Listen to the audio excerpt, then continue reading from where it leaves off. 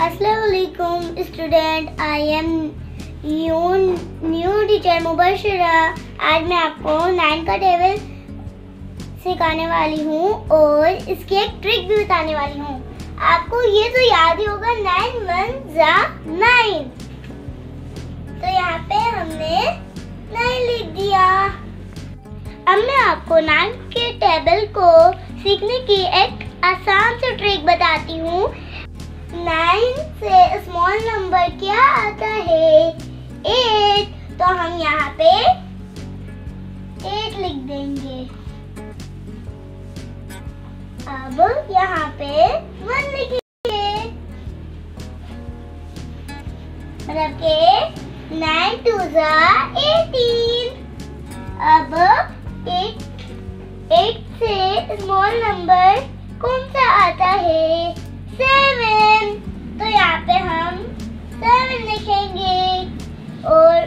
One के बाद to आता है तो यहाँ पे लिखेंगे टू।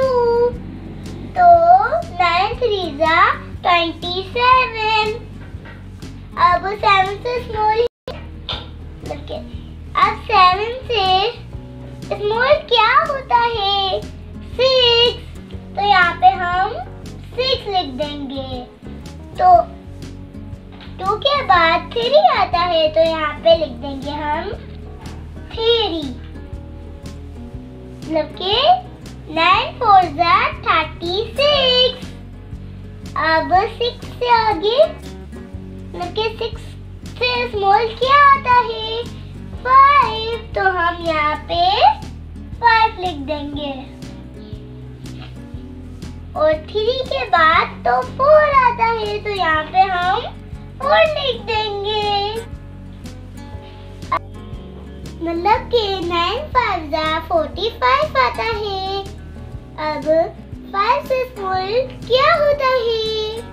फोर तो हम यहाँ पे फोर लिख देंगे।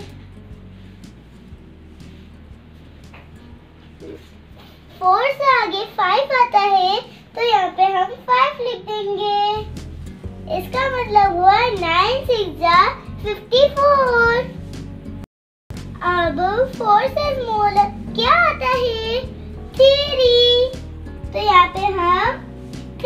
लिखेंगे अब फाइव के बाद तो सिक्स आता है।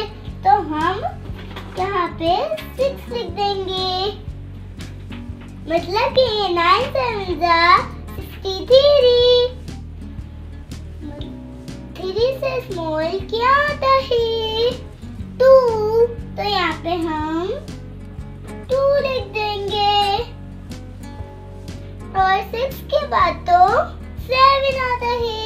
तो यहाँ पे हम सेवन लिख देंगे। मतलब कि नाइन एट जा सेवेंटी टू टू से स्मॉल क्या आता है? टू से स्मॉल वन आता है। तो यहाँ पे हम वन लिखेंगे और सेवन के बाद तो एट आता है। तो हम यहाँ पे एट लिख देंगे। तो आपको फिर भी आखिरी वाला नंबर तो पता ही होगा। कि नाइन टेन नाइन्टी आता है।